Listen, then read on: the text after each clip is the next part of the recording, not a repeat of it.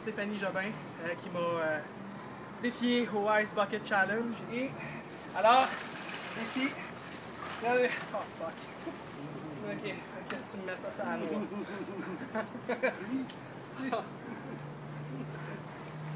Vas-y doucement. Arrête, bouge